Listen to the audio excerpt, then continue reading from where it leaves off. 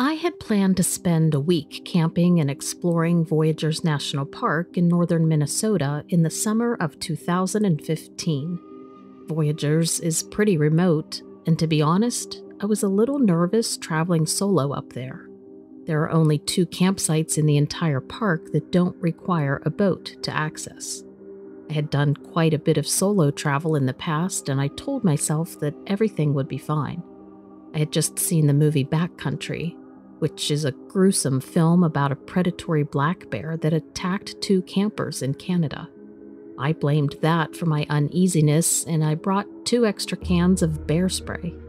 It was a five hour drive to the park, and my fears seemed to settle by the time I reached the park in the early afternoon. I had reservations for two campsites during my trip. The first was only a 20 minute paddle from the lot where I parked my truck. The second campsite, which I had planned to reach on Thursday, was a great deal more remote. As soon as I reached the forest on the other side of the river, my fears returned. Looking back, I now know it was the silence. I didn't realize it at the time, but that's what it was. And it wasn't just the kind of silence you get when the animals see a human in the forest. It was like the whole landscape was frozen. Nothing moved at all. Not the wind, not the leaves on the trees, or the clouds in the sky. There were no birds, no squirrels, no bugs, nothing. Like I said, I didn't realize what it was at the time, I just knew something was very wrong. I kept my bear spray close as I set up camp. The strange silence would come and go throughout the evening, and I did my best to ignore it. But what came later, I could not ignore. It was a stench, an ungodly, rotten stench. I was putting out my fire for the night, and suddenly it smelled like the whole forest had died. The smell was everywhere. I looked around for the source, but I couldn't pinpoint it. I circled around the campsite, and the smell was just as strong on one side as it was on the other. I didn't know what it was. The only thing I knew is that I did not want to be in the woods that night. But then the smell disappeared after maybe 10 or 15 minutes. And I mean, completely disappeared, as if nothing had happened at all. I went to bed about an hour later and I didn't think about the strange smell anymore that night. Over the next few days, I would encounter that smell on and off. It wouldn't last longer than 30 minutes, but it was an all encompassing event when it happened. It was so bad, I could barely breathe without gagging. After the third time it happened, I realized that it was preceded by that strange, unnatural silence. The forest would get quiet, like it was frozen, and then the smell would arrive. And when the smell disappeared, the forest would become alive again. I was averaging about 15 miles a day on foot, and more than that if I traveled the waterways in the pack raft, and somehow the smell would follow me wherever I went.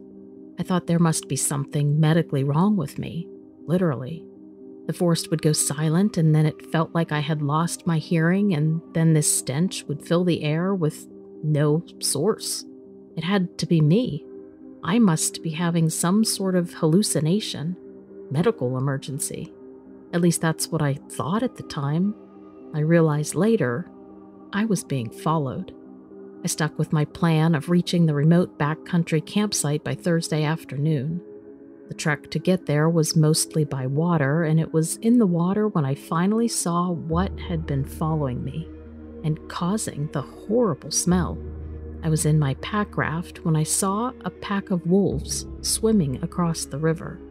It was a rare sight, even in northern Minnesota. There are definitely wolves in the backcountry, but they're rarely seen.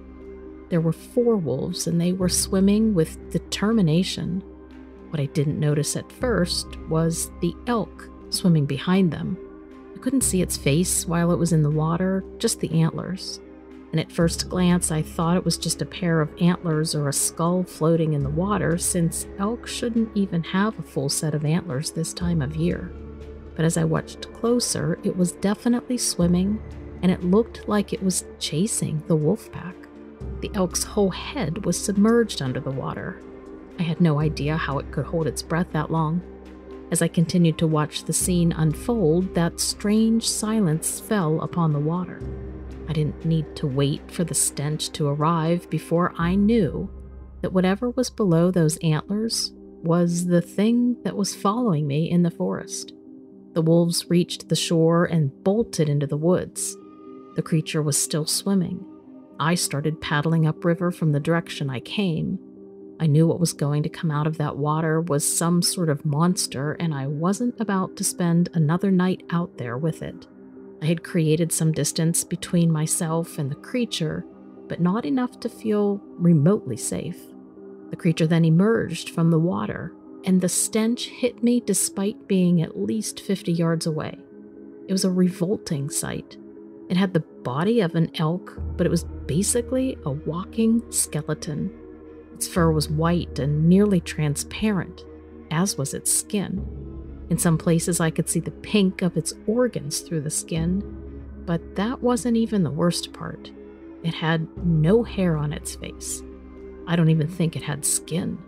It looked like just a skull with two dark sockets where its eyes should have been, and a gaping hole for the nose. It turned and it looked at me.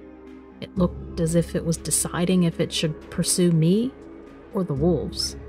I had my bear spray, but I also had doubts that it would work on this thing. It watched me for a moment as I very slowly paddled backwards before taking off down the path behind the wolves. I can't tell you how fast I paddled out of there. I haven't been camping alone since, nor have I ever smelled anything like that ever again. But I know that if I do, I'm getting the hell out of the woods before I meet that thing again. Seeing it once was more than enough for me. I can't say I'm happy to be writing to you, but I sure do have a story to tell. I want to be clear and let you know that I know it sounds wild, but it's the truth. And if you don't want to believe it, it's fine, but I have the scars to prove it. I'm a lobster fisherman by trade. I work on Cape Cod in Massachusetts, and I earn a pretty decent wage. If you don't mind smelling like the sea, it's not so bad. Last year, my friend and I went in on a new boat together. We were running along as freelancers for a while, but we decided it was about time we become our own bosses and set sail under our own conditions. The first issue with being a captain is finding a crew. Although we have tons of friends in the industry, it's risky to join with a new captain, and there are union benefits in place to prevent movement to a new boat. A few decided to jump ship and come with me, but not enough to run smoothly, so I was a captain without a full crew. For the most part, boats these days can steer themselves, but the boys are needed for maintenance and upkeep on board and for safety. I don't know what compelled me that day to do it, but I went out alone. It was clear skies and smooth sails, so I never thought that I would have a problem.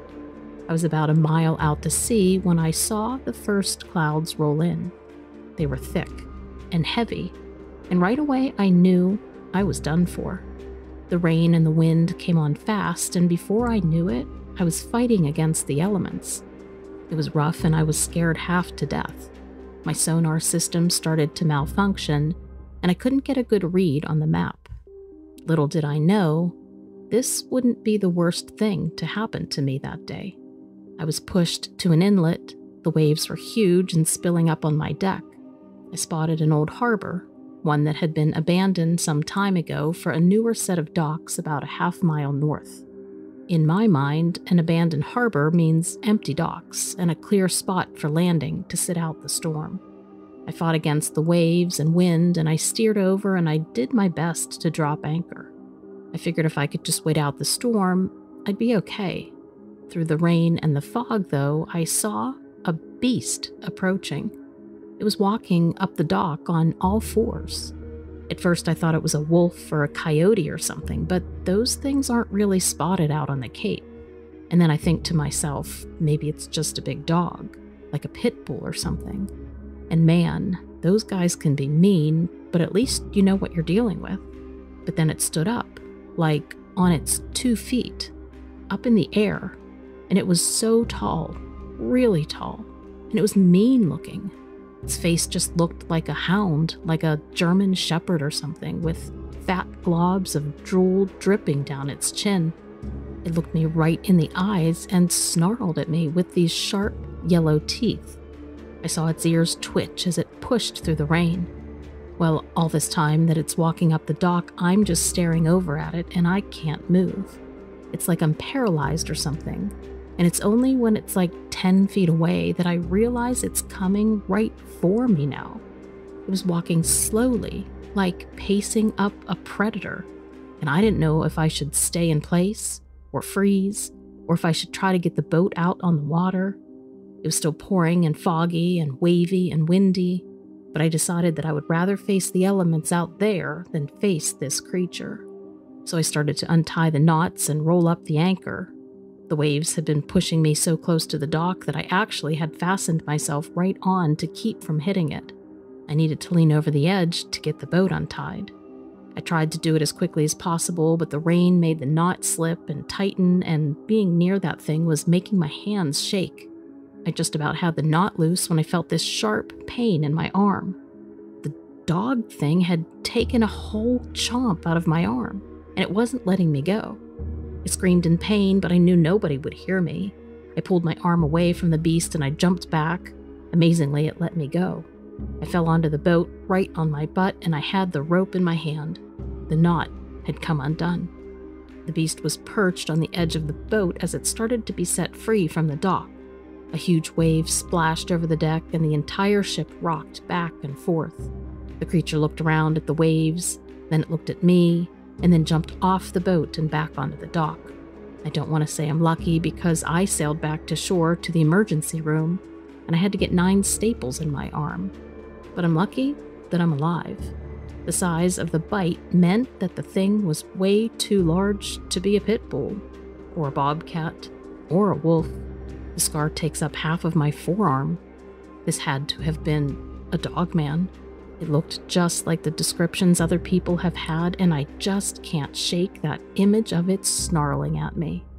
I hope no one else out on the Cape has to deal with that thing. I know your inbox must be flooded with stories, but this one just might be a bit different than the rest. That's because I've been tracking these ships for some time now, and I'm positive that I've been studying an alien species.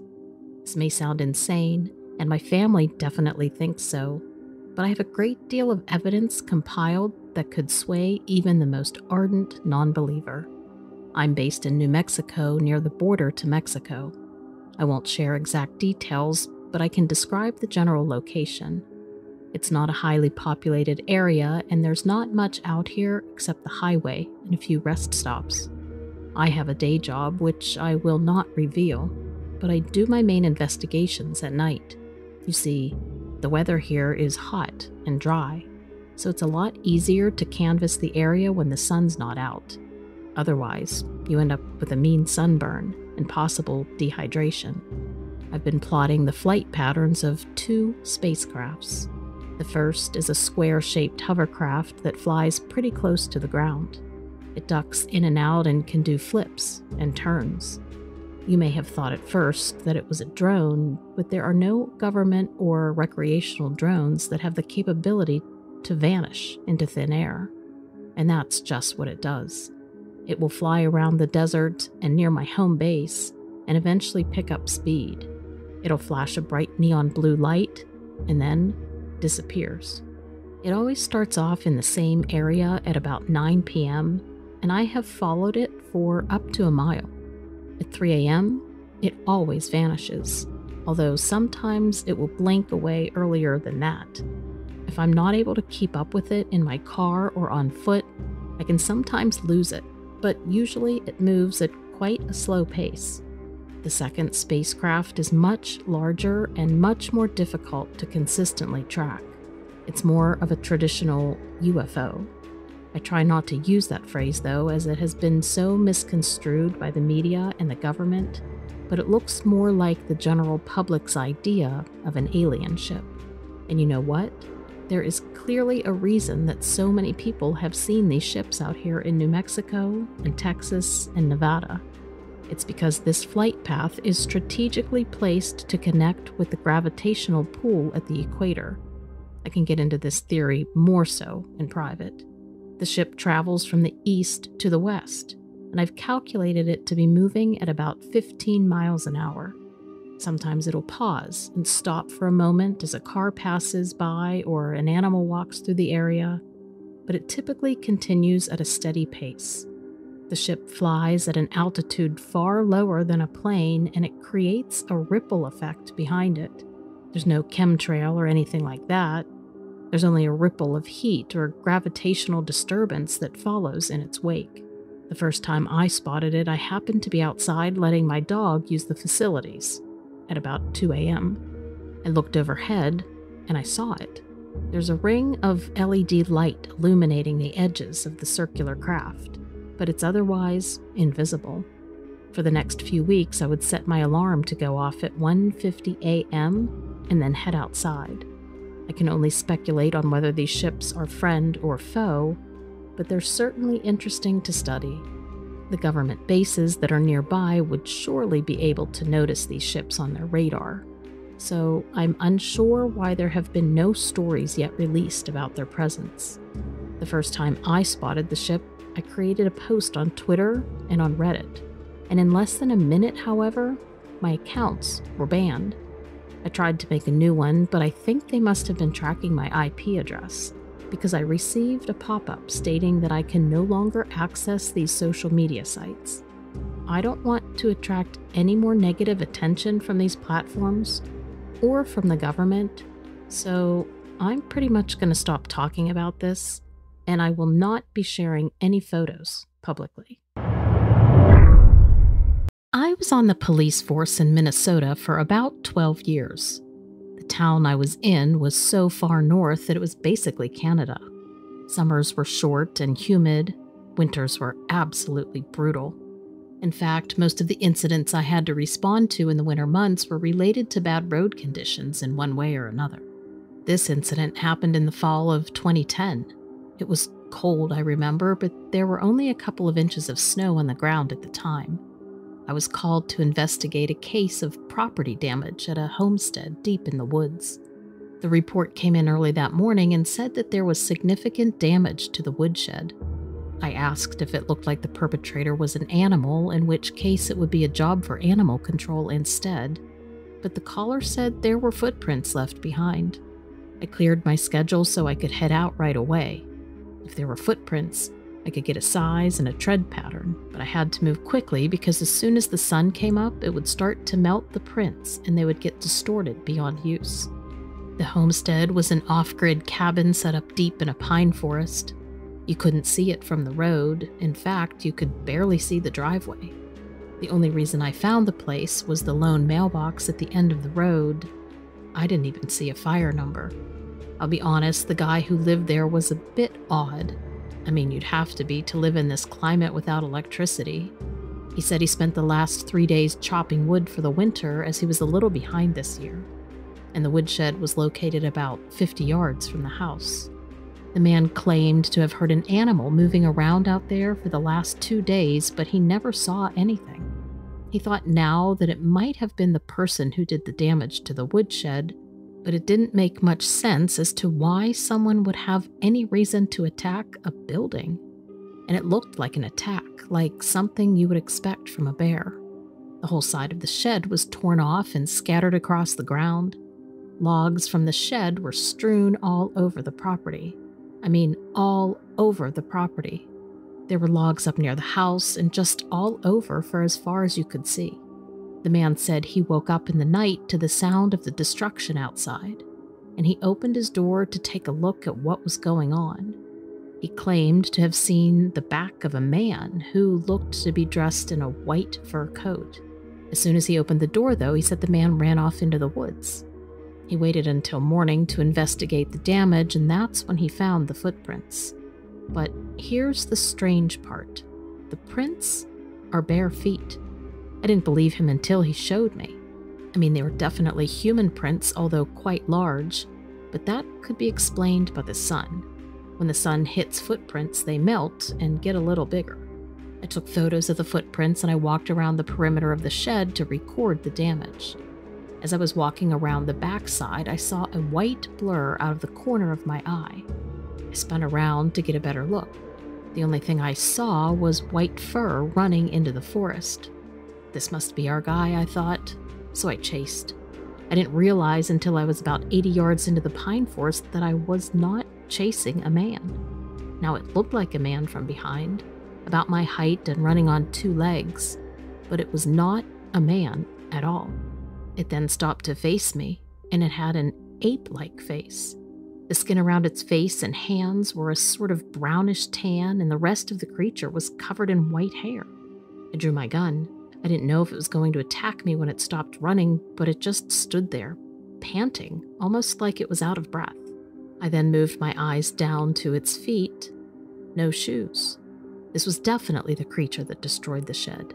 I don't know what I was thinking, but I tried talking to it but it was obvious that it didn't have any understanding of language. I still had my gun drawn on it. I slowly reached into my pocket to grab my phone to get a picture of this thing. But that's when it ran, and I didn't follow it that time. My encounter with the creature only lasted at max a few seconds, but it felt way longer than that. I couldn't believe what I had seen, and I had no idea what I was going to tell the man who owned the cabin. I mean, I couldn't put any of this in the police report. I'd probably get fired for suspicions of insanity or something. I couldn't tell the guy it was an animal either since he saw human footprints out there. I decided to protect my own butt and not say anything. I took down the report of the property damage, and that was it. I did stay and help the man clean up the logs that had been scattered across his property, and I don't know exactly why since I had a bunch of other things I was supposed to do that day. I guess I felt guilty for not telling him about what I saw in his woods. I did check up on him again a few weeks later, and when I got there, the first thing I noticed was that the woodshed had been moved right next to the house. I asked about it, and he said the same thing happened two weeks later, two weeks after I left. And he said that he saw somebody out there in the woods, but I wouldn't believe him if he told me what it looked like. What he says is the truth. So, since he moved the shed away from the forest, he's now not had any issues. Hopefully, it'll stay that way. I spent most of my life as a hunting guide on the border of Montana and Wyoming. I did some work for Fish and Wildlife in both states. During the off season, I worked as a range rider tracking wildlife populations and making sure the large predators don't get too close to civilization. I was who they called when they had to track and dispatch problematic wildlife for the safety of the public. It's not what I would call a fun job, but I was really good at it. I was called out to northwestern Wyoming to track down a problematic brown bear. The reports of the bear were just outside of Yellowstone. Oddly, no one had directly seen the bear, but it had caused severe damage to vehicles and campers in the area. All signs pointed toward a territorial bear. The local park service tried to track it down before they called me after having had no success. The most recent report of the bear was from a road crew working to fix some mountain roads that were washed out by recent flooding. Luckily, no one was injured, but the bear destroyed two hard sided campers that the workers were staying in. That was the last place the bear was spotted, so it was the first place on my list. I'm a little old school when it comes to hunting and tracking, so I drove up there with my truck and horse trailer. I know a lot of guys that use ATVs out here, but a good horse will do you much better. The road up the mountain was windy and slow going. I didn't reach the camp until mid morning.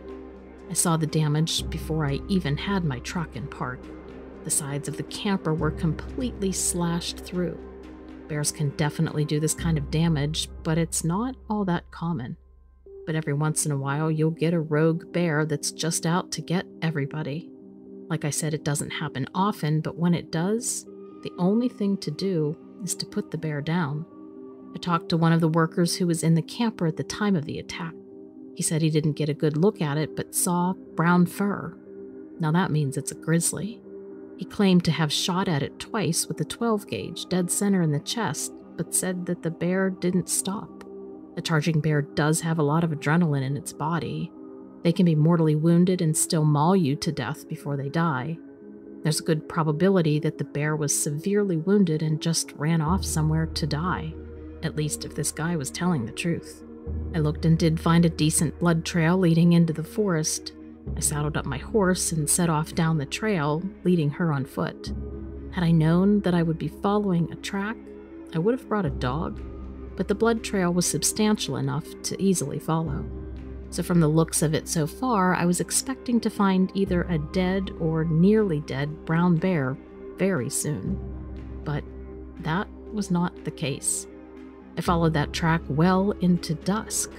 I knew I should have turned back earlier, but I just couldn't imagine an animal that had lost such a significant amount of blood to still be able to go so far.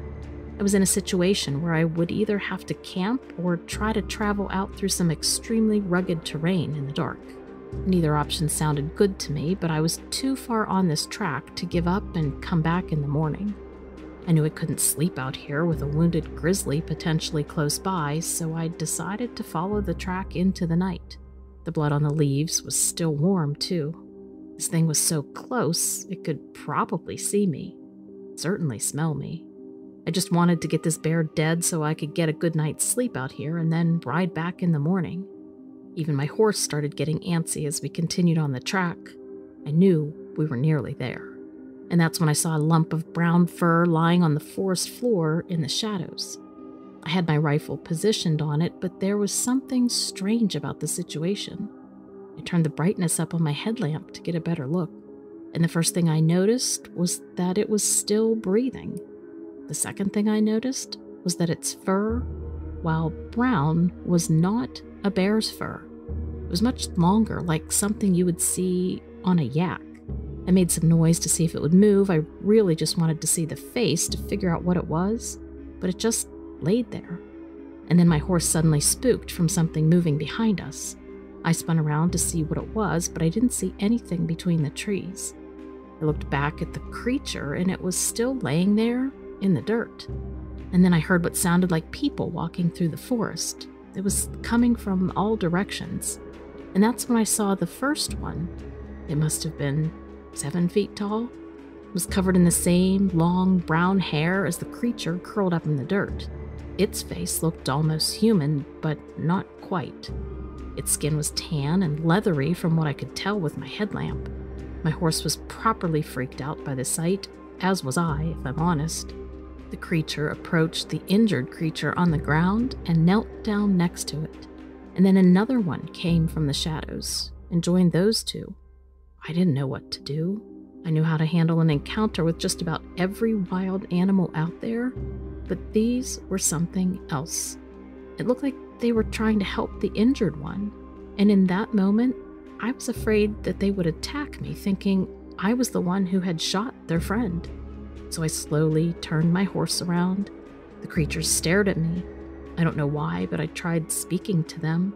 I told them that I was looking for a bear and that I'm not a threat to them, and that we were promptly leaving. I can't tell if they understood me or not, but they did let me leave. I rode through the night to get out of there. I continued on working as a ranger rider and a hunting guide for another 12 years after that incident, and I can say I never saw any of those creatures again, but I have heard stories from others. They aren't very often seen, but they are out there. My grandparents moved down to southern Florida, the Fort Lauderdale area, back in the early 2000s. As part of our family tradition, we spent almost every holiday with them. It was easy enough to ride along when I was a kid, but once I hit college, it became somewhat harder to go down from the Nashville area where I was going to school. It's a pretty straight shot, though, down I 75, but at the very bottom end of the highway, down in Florida, the road cuts straight across the state through Big Cypress Preserve and a pretty wild stretch of the Everglades.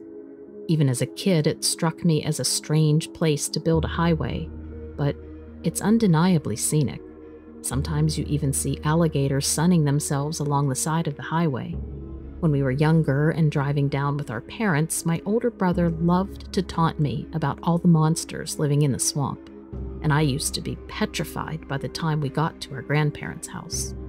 Meanwhile, Fort Lauderdale isn't exactly known for its creepy, crawly creatures, apart from some massive cockroaches, but that never really did much to calm my nerves. Anyway, during college, I was heading down one year for Thanksgiving it was 2018. I remember specifically because it was the year before Nicole hit, and I didn't make it for the next few years after that. I was on my way down and was pushing harder than I should have to make it. Usually I split up the 14 hour drive into two days, but I had stayed a little longer in Nashville than I first anticipated. That meant I was over 12 hours in when I was crossing into the National Preserve, and admittedly, starting to get punchy. If I really pushed it, I would make it by midnight, which I know for sure my mum was hoping for. It was late in the day, and the sun had been down for so long that I felt like I'd been driving in the dark forever. No amount of passenger seat snacks or caffeine could keep me focused. Besides, once you start cutting through the preserves, especially in the dark, everything takes on this super surreal quality. The nights down there can get super muggy too, and thick fog can come up in a second and hang around in ways that make any kind of travel dangerous. So I was tearing my hair out because all I wanted to do was floor it and cut across that last hour and a half. Instead, fog had me fighting my way through. So, yeah, maybe I was going faster than I should have been, but I felt sure that I would be able to see taillights or headlights in time to miss anything major. And then all of a sudden, something leapt out of the fog less than 50 feet ahead of me, and I slammed on my brakes. The whole car threatened to go into a spin, and I yanked on the wheel to keep from slamming into the guardrail. It had happened. I was going to hit this thing in the road, and there was nothing I could do to stop it. Instinct took over, and I pulled the wheel hard to take the hit in the front passenger side, so that whatever it was didn't rocket across the hood and cave in the windshield. We hit hard, and the thing let out a massive yelp and pitched over the shoulder and down into the gully. As I made contact, my heart got tight. In my panic, I hadn't gotten a good look at it, but even in that state, I could tell that it had been standing upright. So I pulled over and I got out of the car, terrified that I would look down over and see a person lying in the swamp. The passenger side headlight was busted, so that whole side of the road was dark. Now, my father always insisted that I keep a flashlight in the glove box, so I got that out and I went over to look down. And the first thing I noticed before seeing anything was the smell. Not exactly like something dead, but more like an ugly mix of BO and animal musk. I had to pull the front of my shirt up over my nose to even get close.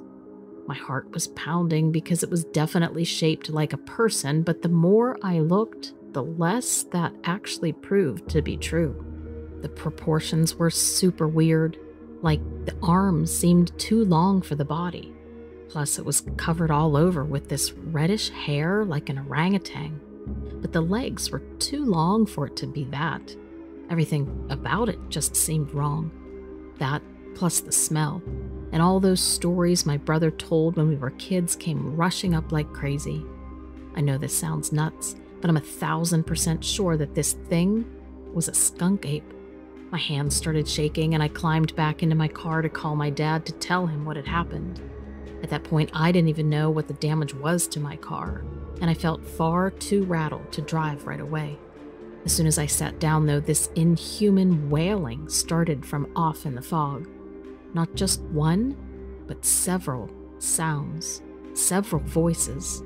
It was impossible to tell where they were all coming from, but I knew in an instant that whatever the issues with my car might be, there was no way I was waiting around. So, against my better judgment, I kicked on my high beams to make up for the lost headlight and I hightailed it out of there, somehow making it to my parents, but with no memory of the drive. When I finally arrived there, my dad was waiting up for me, and it all came out. I started shaking and crying I was crying so hard I woke everybody else up in the house. I think my dad at first thought I might have made it all up to keep from getting in trouble for wrecking the car or being later than I had wanted, but there was no denying it when he saw me. And so now, we're all affected. I was working at a wildlife preserve in northern Minnesota. We were working on a project to track the population of fishers in the area. Unfortunately, they had been nearly wiped out in the area several years back, and we were making an attempt to reestablish a breeding population. Fishers are problematic to study. They're solitary animals and they're difficult to track, trap, and collar. Imagine a ferret on steroids with the personality of a wolverine.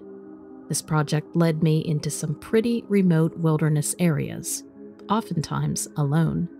This was one of those times. It was the dead of winter. I had a few live traps set up in an area where we had caught fishers on game camera. Like I said, they're difficult to trap, so I wasn't hopeful to find anything. Still, I had to check them in case something was in there. The trail to get to the traps required a snowmobile to make it through. There were three traps to check two in a forest, and one I had to cross a frozen bog to get to. Luckily, the budget for this preserve didn't allow for one of those nice new snowmobiles, and so I had this machine from the late 70s. I say luckily because this thing was much lighter than the newer sleds, and honestly, that's the only reason I felt comfortable taking it over the bog. I checked the traps in the forest first and found nothing in one, and a raccoon in the other. I released the raccoon and headed towards the bog. I had to drive out of the forest across a prairie area and then down a steep hill to the bog. There was a river running through the area that typically froze in the winter, but I didn't have to cross that. As soon as I got into the prairie, I felt like something was wrong. I couldn't say just what it was. Even looking back, I just sort of knew. I pushed the feeling to the back of my mind, though, and continued on, basically forgetting it. I didn't want to turn around, but I also couldn't leave the trap without checking to see if something was stuck in there. I knew I had reached the bog when I saw the green reeds poking up out of the snow. They were the only bit of color in the entire landscape. Everything else was covered in ice and snow and frozen. I stopped the sled near the trap. I didn't see anything inside, but I smelled something absolutely rotten. We used to use chicken livers for the traps. They're stinky and the fishers like them, but they don't smell this bad. No, there was definitely something else around. I didn't see any animal carcasses near me. In fact, there were no signs of animals at all. Usually, when I drive in with the snowmobile, everything on four legs scatters away but there are usually tracks all over to look at. But this time, there was nothing. The only tracks I found were mine from when I set the trap the day before yesterday. I was just about to get on my snowmobile and go, but then out of the corner of my eye, I saw two elk antlers pointing out of the snow. They were less than 20 yards away from the sled. We do have elk up here in northern Minnesota, but they are rare. This looked to be shed antlers or a skull, it didn't jump up and leave when I came in with the snowmobile, so I assumed it was dead. A set of elk antlers is a pretty neat find, and I wanted to bring them back to the station. But when I approached, the rotting smell overpowered me. Normally, an animal carcass won't stink like that during the winter. That should have been my first sign to get out of there, but I decided to investigate further. I really wanted to take those antlers home. As I began to approach what I thought was an elk carcass, something moved beneath the snow. I stepped backwards as soon as I saw it move, but it was tough to move quickly. The creature was slow to rise up from the ground. It moved like it was aged. Its bones clicked and popped, and it was emaciated at best. In fact, I was surprised that it was still alive from the state that the body was in. It had its back to me when it got up, so I hadn't seen the face yet. The fur was as white as the snow. I figured it must be some sort of an albino mutation or something. I got back to my sled and started it up. The elk was close enough that I wanted to put some distance between us in case it decided to charge. And this is when it turned around, and I can't tell you how terrified I was. This thing had fur all over its body except for its face and the skin was stripped from the skull. It was just bone from what I could see, and I couldn't see any eyes in the dark sockets, but when it turned to look at me, I know it saw me. eyes or not. I didn't see a lower jaw either. I don't think it had one. There was just this flap of pinkish meat hanging down from its throat. It must have been a tongue or something. I was so afraid I was struggling to grasp the pull cord on the snowmobile, and it took three tries to get it started, all while the creature was fixated on me. It then began walking towards me. Its movements were jarring, like its legs weren't connected to the rest of the body. Sort of hard to describe. But then I got the snowmobile running before it reached me and I sped off. I kept looking back over my shoulder, but it didn't attempt to chase me. I know what I saw wasn't one of those sick or diseased elk. The natives up here have a name for it, but I won't say it here. The legends say that this creature thing is a danger to humans, and I'm lucky to have escaped as easily as I did. I think I woke the beast from a deep sleep, and that must have been why it didn't try to chase me. Hibernation, maybe? I don't know. I don't really know, but I do know that I won't go back into that area alone or without a gun. Hey, Lilith. I'm a firm believer in the supernatural. I know it's real, and I've had a few experiences to back it up. I was born and raised in Hawaii, and while it's mainly known as a tourist paradise with beaches, mountains, surfing, and luau's, there's also a dark side that most aren't aware of unless you live there. Hawaii is ripe with history, folklore, and spirituality, and there are hauntings all over the islands. Popular spirits include Madame Pele, the goddess of fire, the Menehune, the choking ghost, the faceless woman of Waialae Drive In, and the Green Lady of Wahiawa. One of the scariest encounters that I've personally had involves the most legendary ghosts of all. In Hawaiian, they're the Huaka'i Po are more commonly known as the Night Marchers. Anyone who lives in Hawaii has at least heard of them. They are very real. The Night Marchers are the ghosts of ancient Hawaiian warriors said to travel on certain trails from sunset to sunrise. Supposedly, they appear during the last four phases of the moon, before it goes dark. It's said that you'll know when the night marchers are coming when you hear their drumbeat and the sound of the shell. You'll see their torches in a single line descending down the mountains. That's your cue to run and hide. You're not supposed to look at them. If you do, they will pull you in and you'll be doomed to walk with them for eternity. You're supposed to show deference and respect by taking your clothes off and laying face down in the ground. If you do look at them, it's possible to be saved by an ancestor who is marching with them. The ancestor will call your name and claim you as theirs, and your life will be spared. Simply put, these are not the kind of spirits to be trifled with. One summer weekend, my cousin and I were camping and boar hunting. I won't say where because it's best if people don't try to go there. It was near the base of a mountain, and we had to hike a few miles after parking off a dirt road. On our first day, we bagged a boar and cleaned it. Then we cooked some of the meat for dinner. We had a few beers afterwards and just talked story, laughing into the late hours of the night. There were no clouds, and the tapestry of stars was a sight to behold. The moon was just a sliver, but I didn't think anything of that at the time. We eventually went to sleep, but a few hours later, my cousin violently shook me awake. I didn't recognize him at first in my half asleep stupor, and I almost punched him in the face but I quickly saw the terror in his eyes. I had never seen him as scared as he was in that moment. He told me to shut up and listen, and that's when I heard it a slow, steady drum beat, and then the sound of the shell blowing. It was in the distance, but not too far away.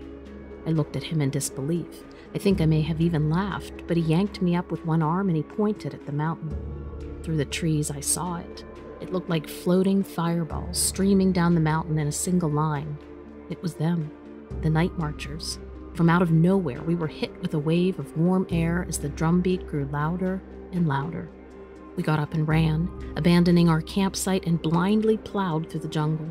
The sound of the shell blowing was now closer, and out of my peripheral vision, I could see a soft orange glow. A mist began to surround us, and we were assaulted with the horrid stench of something rotten. My cousin screamed at me to get down. I knew I was supposed to take my clothes off, but there was no time for that. So I just dropped to the ground face down and I closed my eyes. My heart pounded in my chest as I waited there for what seemed like forever. I felt the warm air wash over me as the drumbeat was finally upon us. But I couldn't help it. Curiosity got the best of me and I peeked through my fingers.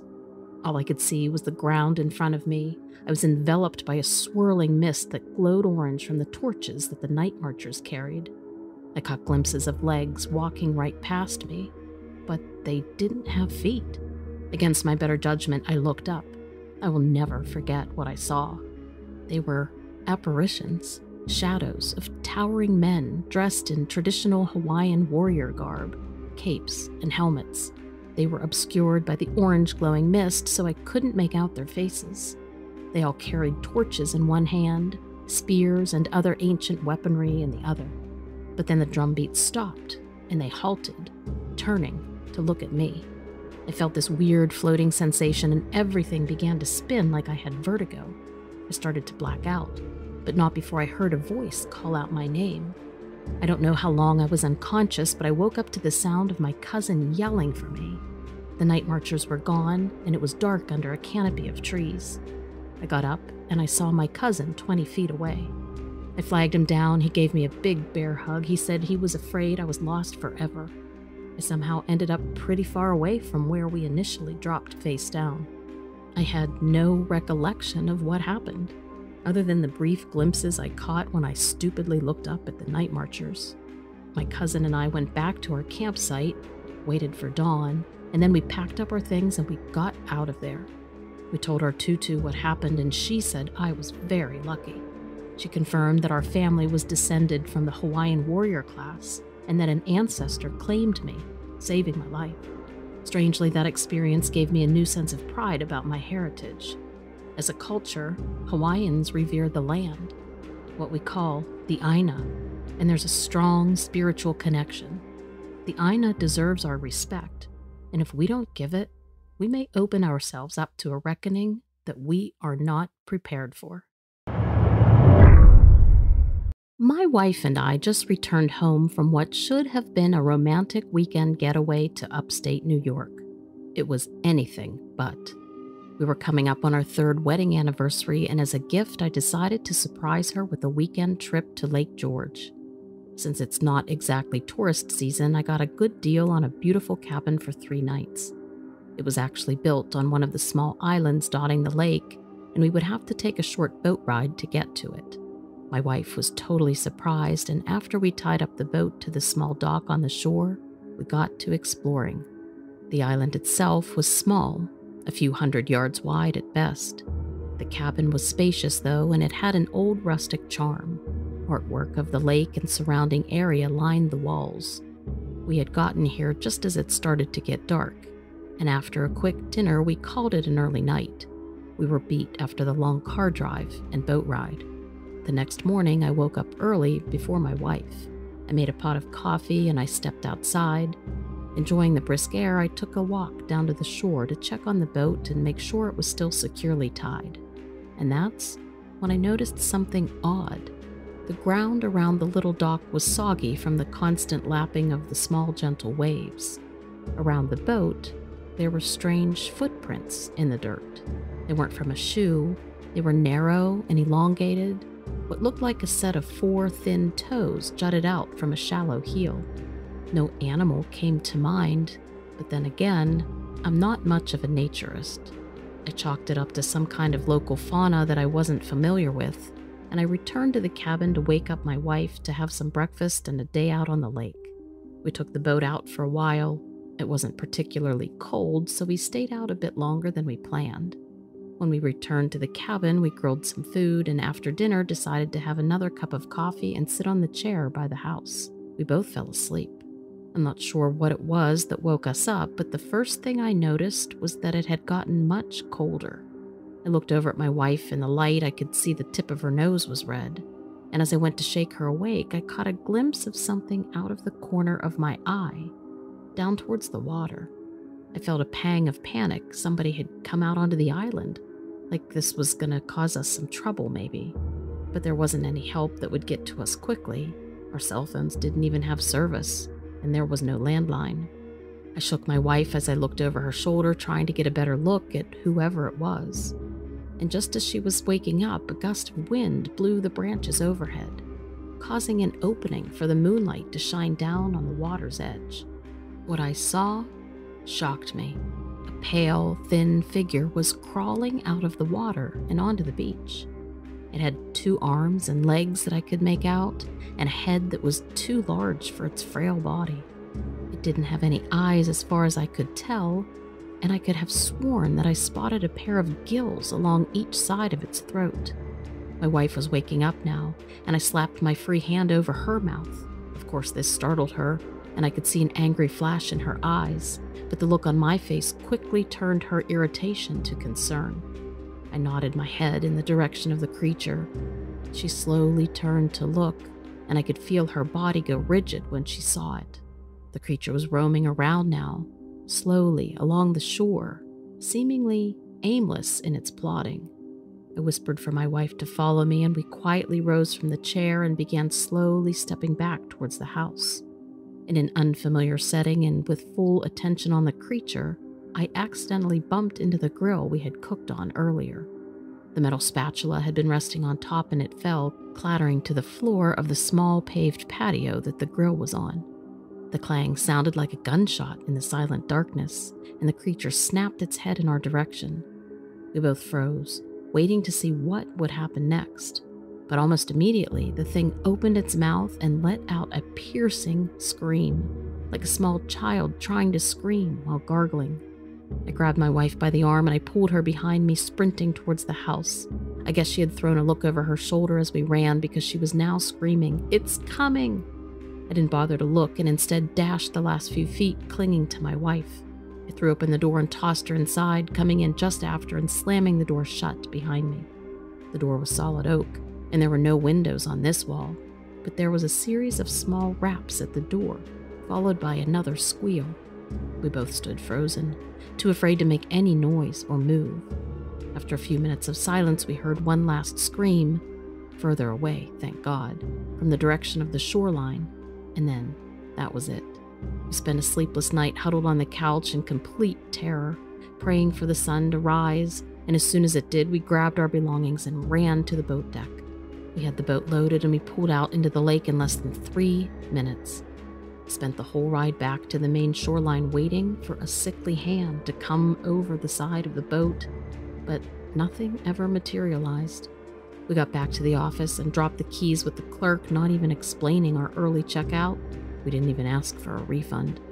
We have no idea what it was we saw that night, and frankly, I don't really want to know. I just want to share my experience with you and warn everybody else that there is something very inhuman living on or in Lake George. When I was with the Park Service in West Virginia, we used to host a Scouts program. They spent a lot of hours on volunteer projects, and part of their service involved helping to restore parks throughout the county. Our area was a popular place for them to come and do trail maintenance and improve the campgrounds in many ways. Just clearing the area of trash and debris alone was a great service they provided. We were hosting a group like that about five years ago, and that's the year I got more than I bargained for. The age group was between 10 and 12 years old. It was their last camp of the year, and they were making the most of it. They had worked hard all day, and some of their junior assistant leaders put together a night game for them. It was meant to be a kind of spooky game where they could just let off steam after a hard days of work. It involved the kids completing some kind of task while the junior leaders tried to scare them. I was pretty new to the job then, so I didn't know if that was a common activity or not. It was a bit before Halloween, so I was guessing they were just getting into the spirit of the season. Myself and another ranger had given a talk earlier in the evening, and we were just kind of facilitating the gathering and making sure everybody stayed within the boundaries. Some of the assistants had to put on some monster masks, and we were hiding out in the woods close to the checkpoints the scouts had to pass. I was going in between checkpoints, keeping an eye on things. There was an open stretch of forest near the upper boundary where I decided to hang out on this big rock so that no one would go too far. I had my flashlight off though, so I wouldn't mess up the game. But it was the kind of dark that plays tricks on your eyes, and you start imagining things that aren't there. I was sitting there and I thought I saw a shadow that was around my size running through the trees a few times. I couldn't see it very well, so I just assumed that I was imagining things because nothing was there when I turned my flashlight on. I had been there quite a while and it was getting kind of late. I was pretty sure the game would be over soon and everybody would go back to the fire to have s'mores. But then I saw the shadow again. This time I could see it vaguely standing near a tree not too far away from me. I thought it might be one of the assistants, hiding to scare the kids. I decided to go over since it was about time to go back. I was still some distance away, but when I got closer, I aimed my flashlight toward the tree. There was definitely someone very tall standing there. But when my light hit its face, I was shocked to see reflective red eyes looking back at me. I started to feel dread. Something felt off. I started to ask if everything was okay, but then I saw that this thing had huge black wings that covered most of its body. My mind tried to rationalize it away. I tried to tell myself that it was just someone who had decided to use an elaborate costume. But I knew it wasn't true. This thing wasn't human. Besides the red eyes, it didn't seem to have any facial features, just darkness. Plus, it was taller than me by about a foot. It lifted up its wings and it made a god awful piercing shriek, and it jumped straight into the tree behind it where it could look down on me. It was slowly turning its head back and forth like it was waiting for something else to come. Something inside me told me just to run. It didn't matter if it was just a stupid prank. I felt this unholy fear. If it wasn't a prank, I felt like I was in serious danger. I ran as fast as I could, I thought I heard it following me in the trees, but I couldn't take the time to look around. I arrived back at the campfire, and it looked like everybody else had already gotten back and was just milling around, laughing and joking. I went and found the other ranger there and told him what happened. He just looked weird at me, thinking I was making it up. He had been employed there longer than me. I felt like he was looking me up and down, like I was dumb, like a dumb whippersnapper who didn't know how to act in the woods. I just shut up after that and I started to question my own sanity. Everybody else was just having a good time, but my adrenaline was really jumping. I just kept circling the camp and shining my light into the woods whenever I thought I heard anything. Eventually, the party died down and everybody went back down the trail to their tents. I stayed by the fire a good long time, thinking I had chosen the completely wrong kind of work. The next day, I went back to that area to check it out but I never found anything but endless trees. Well, I mean, I did find a big black bird carcass, but that could have been from anything. It's not like it was the first one of those I had ever seen. In spite of that creepy night, though, I did stay with the job, even though I did end up leaving that area the next summer. I ended up with the city parks department in New York City. Now, there are some stories. Plenty of freaks up there, too. I'll tell you about it later. My family always longed to travel. When we were kids, we couldn't afford it. My mom, a single mom, would always talk to us and dream about all of the sights in the United States that she hadn't yet had the opportunity to see. We wanted to see those things too. So once we siblings got older, we made a list of all the places our mom described and promised that we'd all make our way through the destinations, one at a time. We took her to a few of them. She enjoyed Crater Lake the most, but unfortunately, she didn't get around to the Grand Canyon until after she died. So let me explain. Once mom died, my siblings started to give up on the list. It wasn't the same without mom, they said. I felt the same as the rest of them, but I just wasn't ready to give up yet. The road trips across the country to check out the last remaining wonders of the USA became my way of staying close to her. I'd even talk to her on the road. I'd ask her what she thought of all my favorite views. When I finally made it to the Grand Canyon, it felt bittersweet. It was the last destination on my list, and my list represented my mom's bucket list, complete now thanks to my dedication. but it also meant that I'd have to find a new way to bond with mom. While there, I started to think about how I wasn't ready to say goodbye to these trips. So I booked an extra long stay in the area so that I could return to see the canyon one more time before heading home. The first day was exactly the wonder and spectacle that you would expect. You don't know how small you are until you're faced with the great scope of the earth. But I'm not going to spend a lot of time describing the canyon. I'm not good at that kind of thing. But what I do want to describe is what I saw on the second day. Dusk was approaching. The descending light framed the rocks and the sand beautifully. It was different than the broad daylight view that I had enjoyed on my first day. So I asked Mom what she thought, and I waited for an answer. I never heard her voice, we don't talk that way. Usually I just get a feeling. That night I did receive the feeling that she was there, but it was interrupted by a light in the distance. I was alone at that particular overlook. I had purposely chosen a less crowded area to admire the canyon. The light demanded my attention, especially since it wasn't coming from the road in the distance or the town that I knew was further back. Red blinking lights began flickering near the bottom of the canyon. I thought perhaps there was a road down there. It was an emergency vehicle, maybe. Maybe I hadn't seen them descend into the canyon. The idea of somebody being rescued out of the bottom of the canyon guaranteed that I wouldn't be looking away. It was unexpected, magnetic, but it was not a vehicle at the bottom of the canyon. I know this because the longer I stared, the more I saw it. There was a large triangular shape visible on the canyon floor. The blinking red lights revealed more of it as time went on. Otherwise, its colors were obscured. It looked disguised in some way. It was as if the triangular body was colored exactly the same as the canyon around it. Now I wondered if it was a jet, some type of military craft, in disguise. No, it wasn't flying, and I had no reason to assume it could be, but jets were the only vehicles I knew of that depended on such great stealth. And then the triangle began to levitate. As it rose from the ground, its canyon colored veil seemed to disappear. Now it looked black, black, metallic, and massive. I mean, I could have parked my car on its back and still had room to walk around. I watched as it climbed out of the canyon and continued to climb. I asked my mom if she was seeing the same thing. Again, there were no words, no feelings, but I felt confident that she was there with me.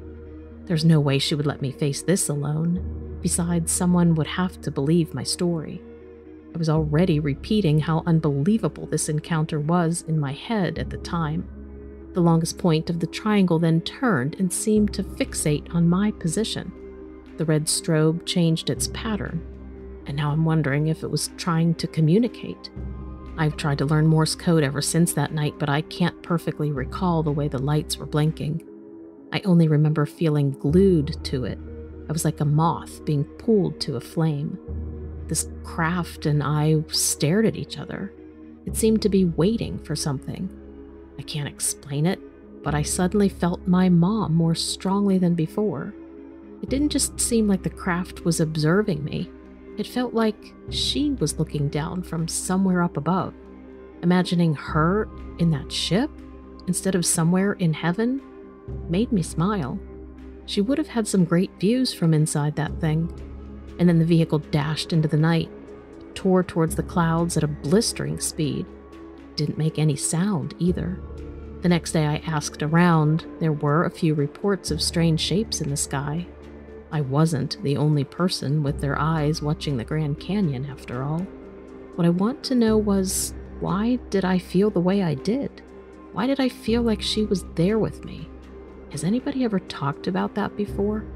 Was it something genuine? Was I in shock? Was it even real? I want to know the theories, and I want to know if I should go back looking for it again.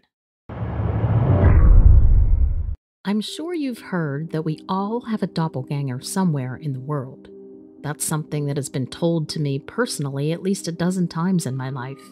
It's always said by someone who seems to have a little bit of scientific basis for the claim, but has never presented it as a fact with any kind of proof. You've probably also heard from people who claim to have met their doppelganger, or maybe you've even seen yours. So, with that in mind, what I'm about to tell you will probably seem underwhelming at first, but I promise this was more than a doppelganger. This was some cross dimension weirdness that I have never been able to wrap my head around. In August of 1996, I was a 10 year old kid with a 13 year old brother and a 6 year old sister. Our dad had died earlier in the summer in a car accident.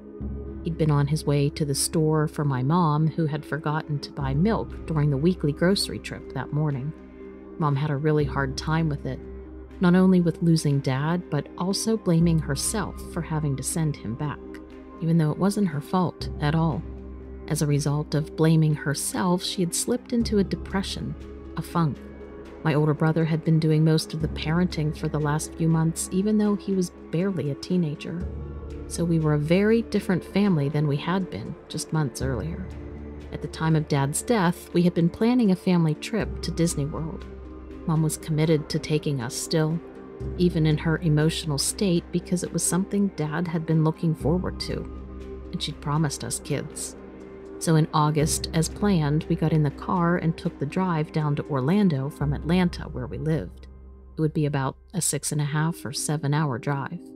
The day we got to Disney started out seemingly normal for a day there.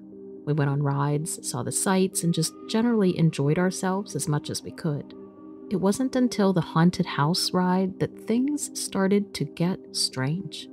That ride is surprisingly sentimental. After watching the ghosts, who were still in love and dancing through the walls with the loves of their lives, Mum needed a moment to herself.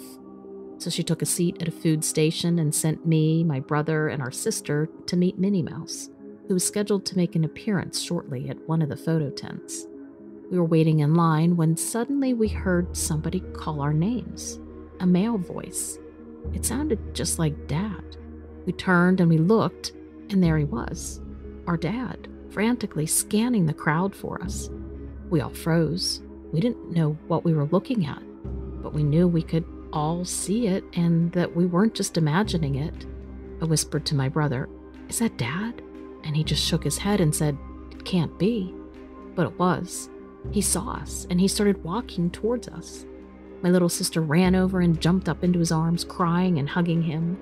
He was comforting her, saying it was okay, that he knows it's scary to get lost, but he was right there the whole time. I looked at my brother and he looked at me. We both knew that something very weird and potentially dangerous was going on. My brother ran over and grabbed my sister out of the dad look-alike's arms. I ran with him, and then we all took off as fast as we could back to where we had left Mom. The guy took after us, chasing us the whole way. When we got to Mom, she stood up and, in a hurry, asked what we were so scared of. She could see it on our faces. My sister was crying, beating on my brother's back the whole time he ran with her, screaming for him to let her down because she wanted to see Daddy. So when we got to Mom, and my sister was screaming, I want Daddy, over and over, Mum thought that the haunted house had bothered her, too. She took my sister in her arms and was saying, Daddy's in heaven, but he can still see us, though. She was trying to comfort her and calm her down, but it wasn't working. My sister pulled back away from my mom and then said, Daddy's right there, and pointed back into the crowd. Mom looked. She saw him too. The man that looked like Dad was standing there staring at Mom with his face as white as a sheet, and then he was shaking and starting to cry. Mom looked at him with the exact same expression. She said, Eric. The man looked and said, Laura. Both of the names were right. And then at the exact same time, they both shook their heads and said, You died when you went to get the milk. That's when three kids who looked just like me and my siblings came running through the crowd, yelling for their dad.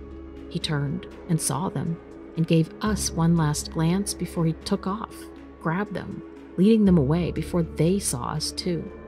We didn't stay long at Disney after that. Mom hurried us out and we went to the beach and then SeaWorld for the rest of the day.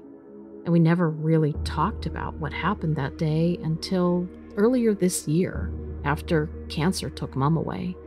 We were all older now. My brother, sister, and I started talking about the Disney run in the day after mom's funeral, and we all had different ideas about what it could have been. My brother thinks it's just a wild coincidence that some people who looked very similar to our family and had at least a few of the same names and circumstances happened to have been there at the same time. Well, that's ridiculous. That's impossible.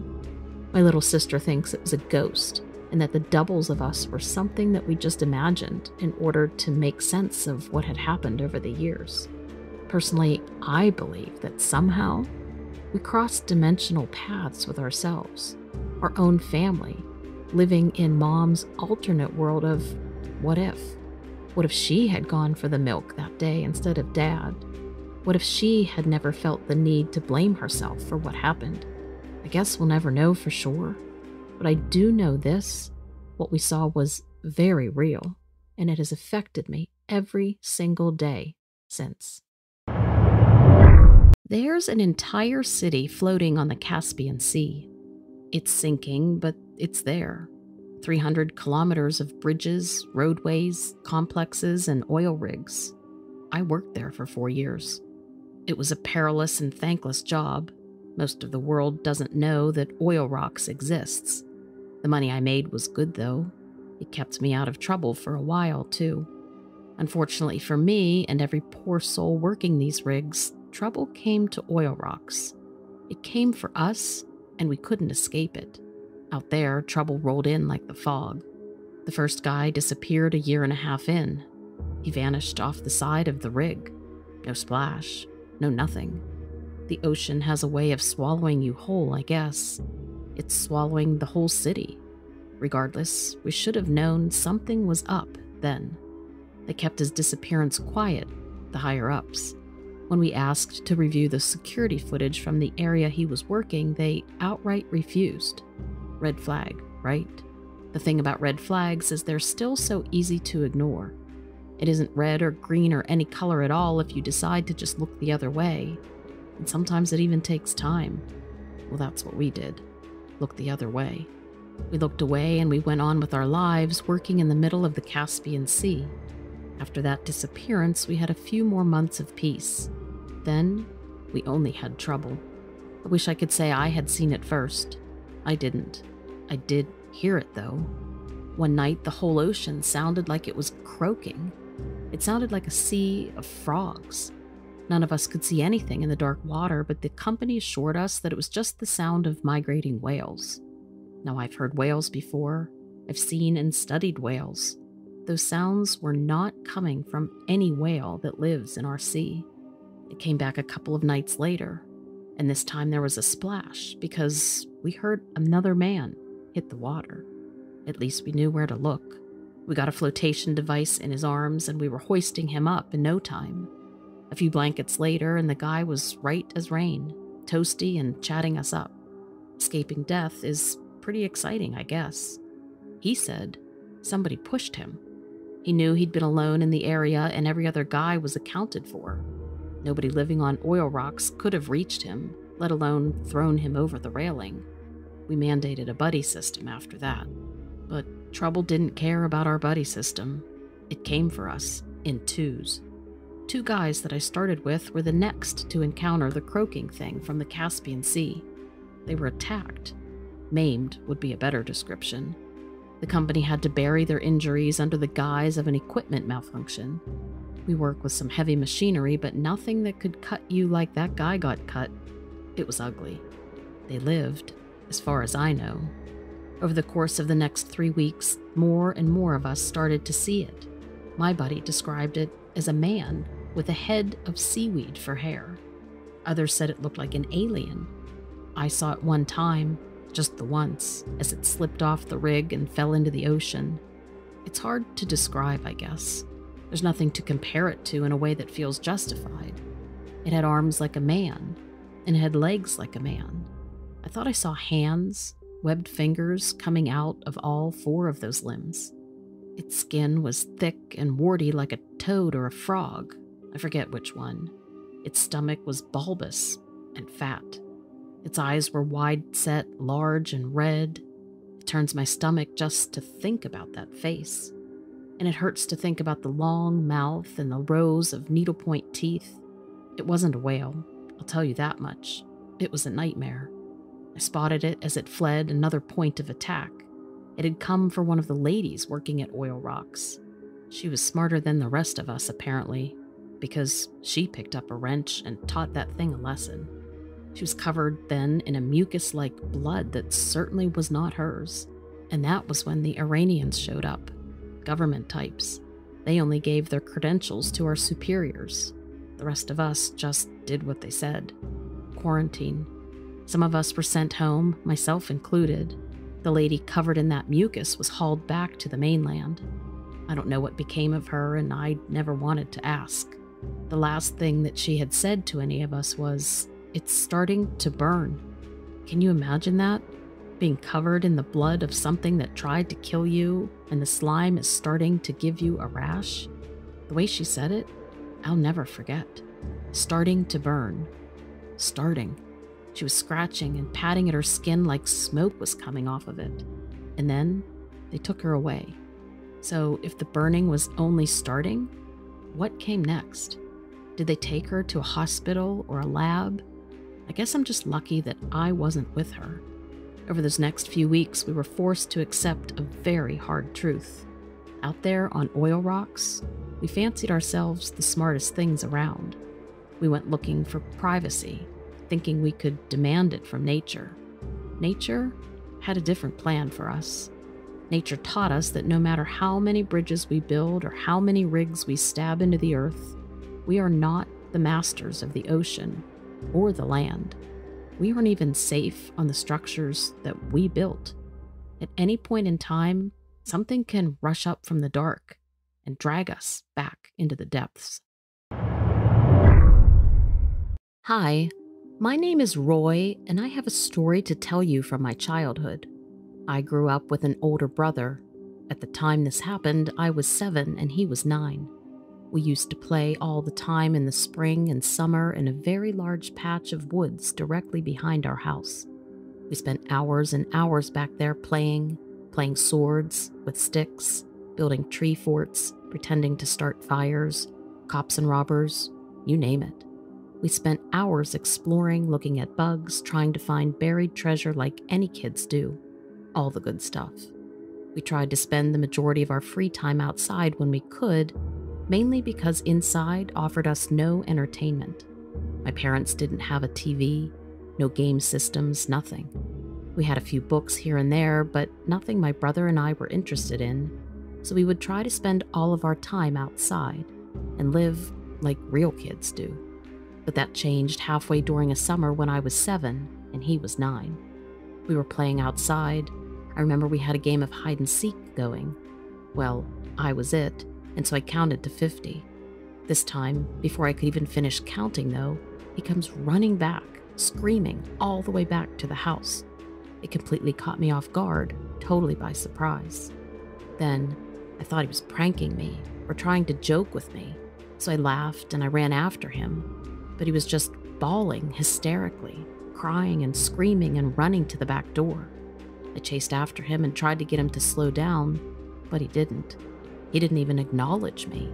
He was in a total state of shock and fear. When he got to the back door, I finally caught up with him. My mom was busy doing something inside, so it took her a minute, if not more, to get to the back door. She usually kept it locked. I had never seen my brother in my life so overtaken by pure, raw emotion as that fear that he had. It wasn't until a little later, even my mom was freaked out, that she was able to get him to calm down. But it was days before he would tell any of us exactly what happened. He just said that he saw something, but we really couldn't get anything out of him. And then days after that, he told me what it was. It was about a week later, and he asked me if I could keep a secret. I said yes. Even more so, being only seven years old, you want to do anything to stand by your older brother. He told me that he saw a real werewolf and that he was running to hide. He was walking up to him from behind a tree, reaching out to grab him. That's what he said. He said it was big and hairy, covered in dark black fur with huge fangs and large eyes and ears it scared him so bad that he ran. He was pretty serious about it too. He was very shaken up. Retelling the story at nine years old wasn't easy.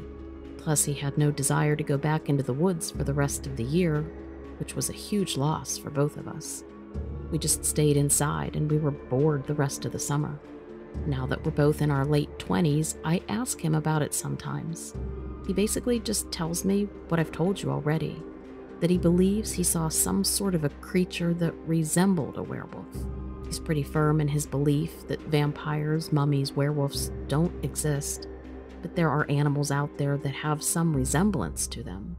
I mean, that's a lot more plausible than the idea of an actual werewolf existing. But even now, he describes it to a T, basically says exactly what he did when he was nine. It stood up on two legs, was covered in dark black fur that was really thick, kind of like a shaggy dog, long, gangly, very unkempt, like it had been rolling around in dirt and filth and muck. He said its face was somewhere of a cross between a German shepherd and a wolf, a very pronounced brow ridge like some monkeys have, and very, very long ears that were very pointed, and a long muzzle and huge, sharp canines.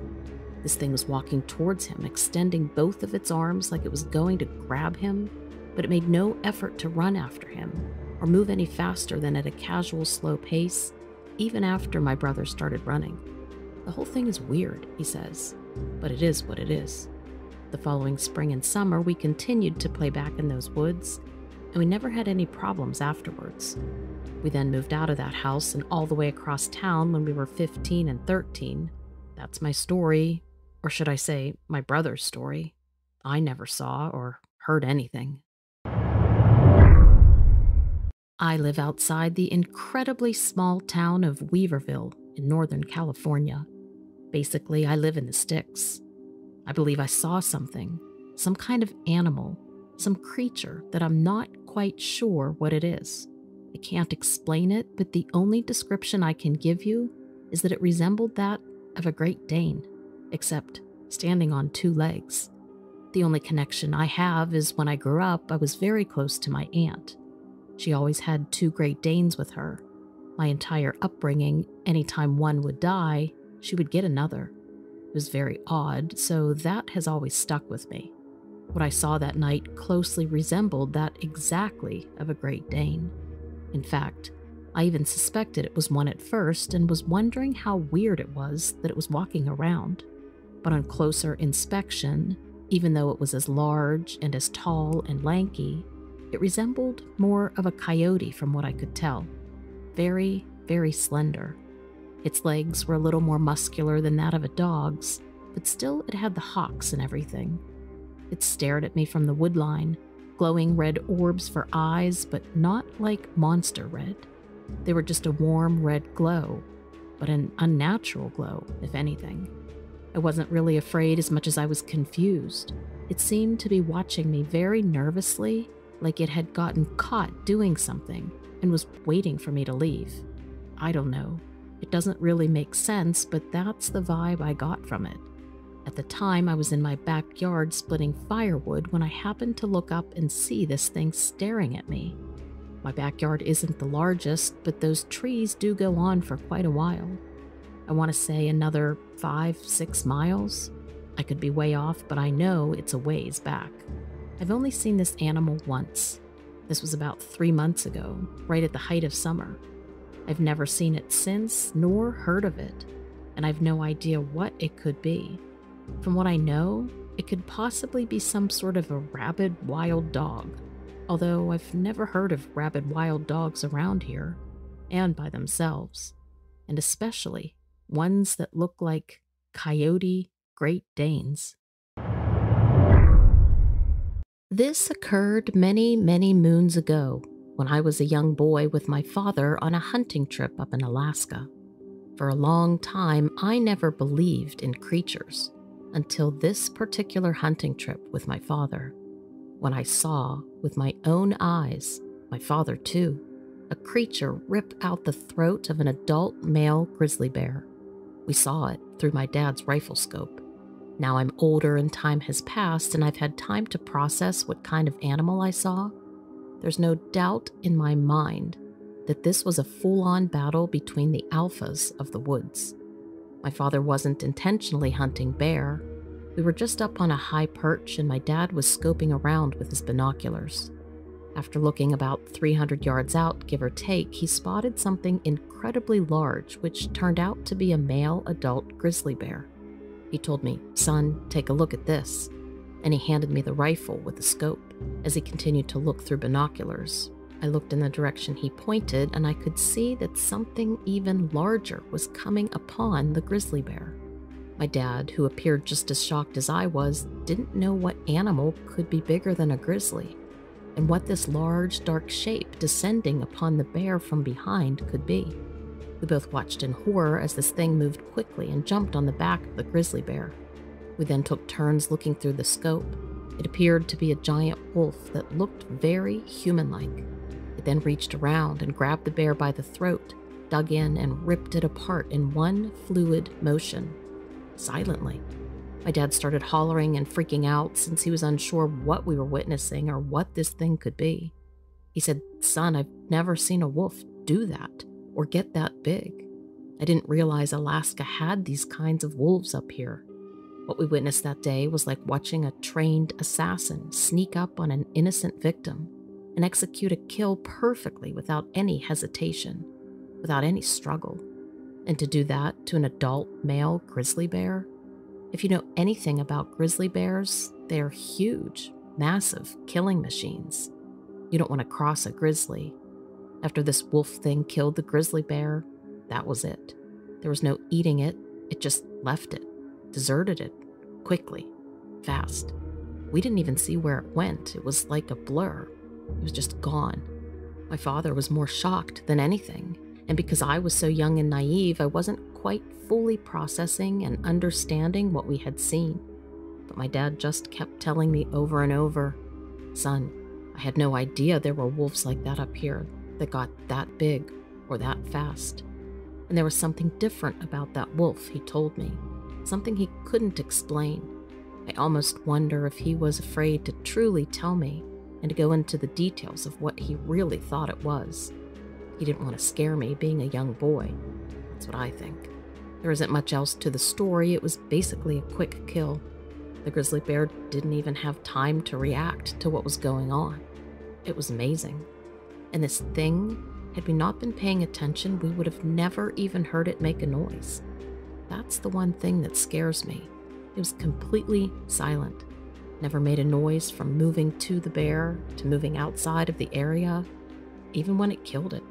It was the perfect assassin right before our very eyes, something my father and I still talk about to this day. I was just a normal person living a normal life until one day the government came for me. They said that I had been selected for a special program and that I was going to be part of a scientific study that could change the world. They said I was an exact match for what they were looking for. I was excited because actually I had volunteered for the program. How I heard about it is a story for another day. They promised me that I would be well taken care of and reassured me that I would be helping to find the cure, not to mention the sizable monetary stipend that I would receive when it concluded. Little did I know that this would be the worst decision of my life. First came the paperwork, signing off on pages and pages that made me second guess what I was getting myself into. And then a few weeks later, I was picked up and taken to a well hidden and probably top secret facility deep in the woods. Riding there in the limo with the blacked out windows should have been a red flag, but at the time, it made me feel special. But getting out of the limo felt like a different story. Here was where the rigorous poking and prodding began. And that wasn't even the study. That was just to check one last time that I was 100% compatible. I was eventually told that I was accepted, but would now have to sign off on staying at the facility. No leaving, no contacting anybody outside for the duration of the study, which was slated to take three months. I was deep into it at this point, so I agreed. The experiments began, and at first they seemed harmless enough, but as time went on, they became more and more extreme. I was subjected to a series of genetic manipulations and treatments that made me uncomfortable. And soon I started to notice changes in my body, changes that were not at all what I was expecting. But they told me not to worry. But how couldn't I? My senses became heightened, my strength and speed increased, and I began to develop thick, coarse hair all over my body. I also started to experience strange urges, like the need to run outdoors, and even stranger still, a craving for raw meat. I knew something was wrong. Something was terribly wrong. I tried talking to the doctors, if they even were real doctors, now I wasn't sure, but I couldn't get anybody to listen or react. There was a lot of hush hush talking that went on between them, and often they had concerned looks on their faces. I then asked to leave the facility so that I could find help on my own, but I wasn't allowed to leave, and it was pointed out to me that I had signed the papers that agreed to that rule. I couldn't seek help, and my mind was starting to lose it. Now, I won't reveal how, but one day I tried to escape. Let's just say it was somebody from the inside that seemed to be just as worried and as scared as me. However, I didn't get far out of the building before they were upon me and restraining me and pulling me back inside. I was thrown into a locked room and kept away from all other patients, almost like solitary, I would say. The next morning, three of the white coats came into the room. Two held me while the third injected me with a series of shots. Each shot burned more than the last.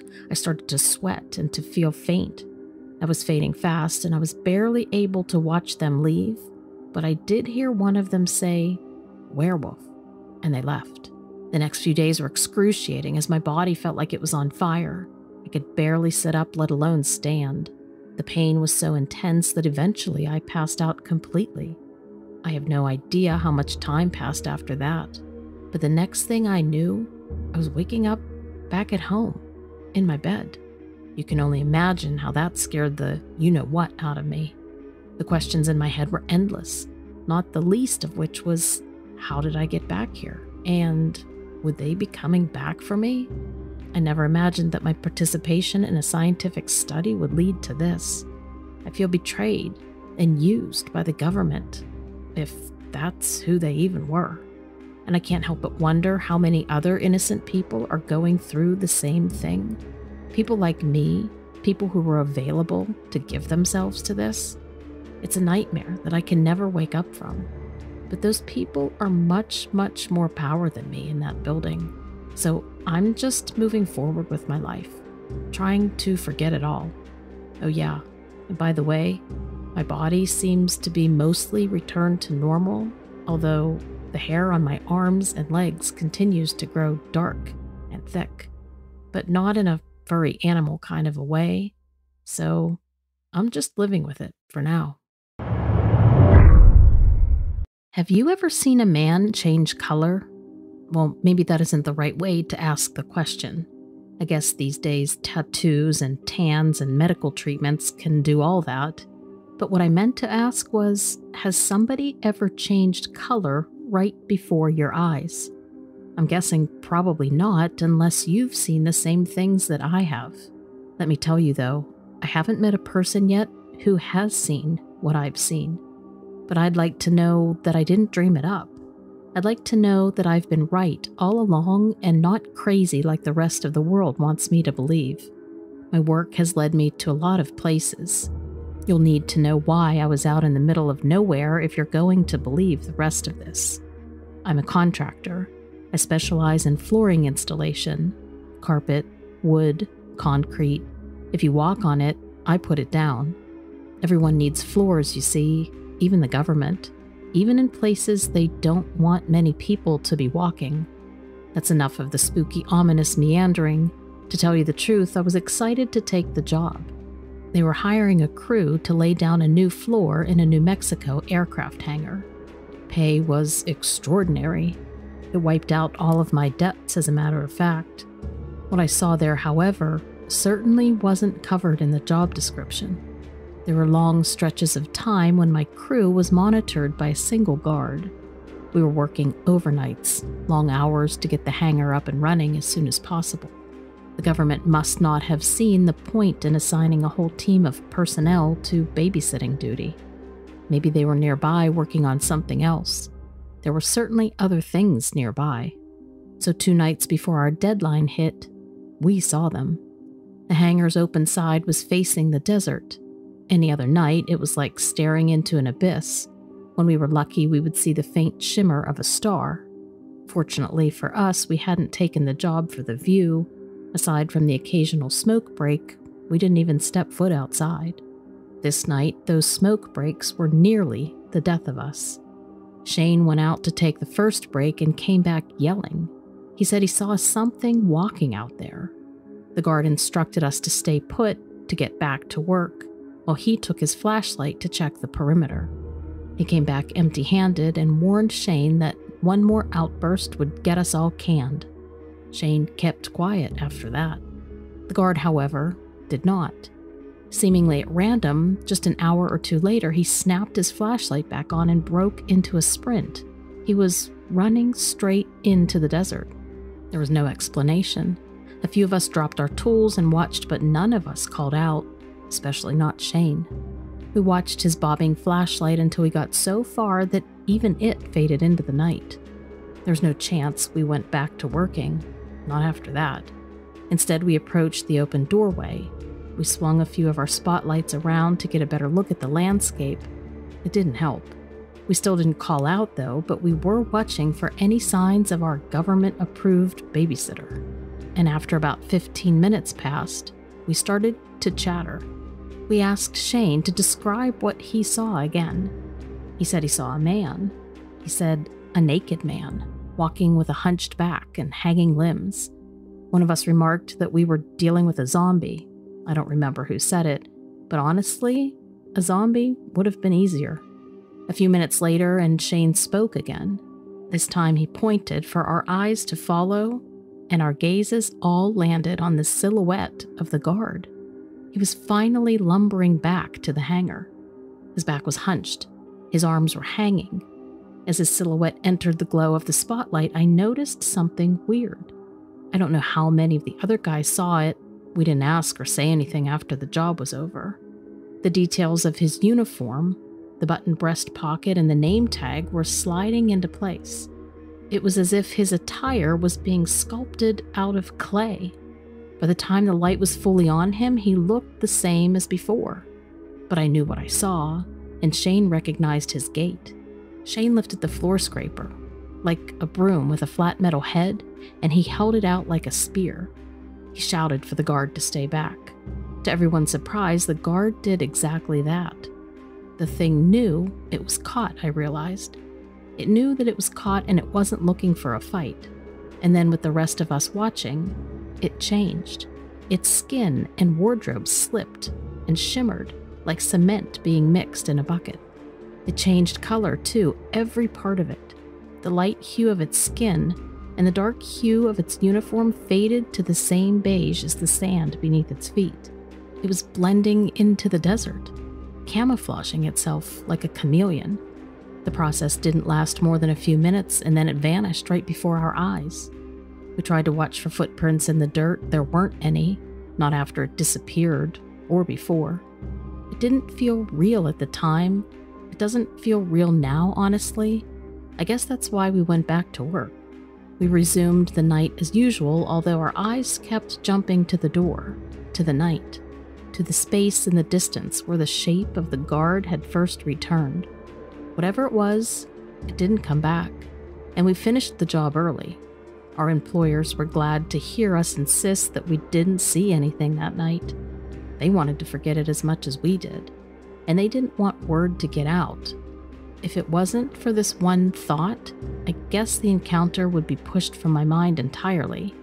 But if it did want to come back, how would I know where it was?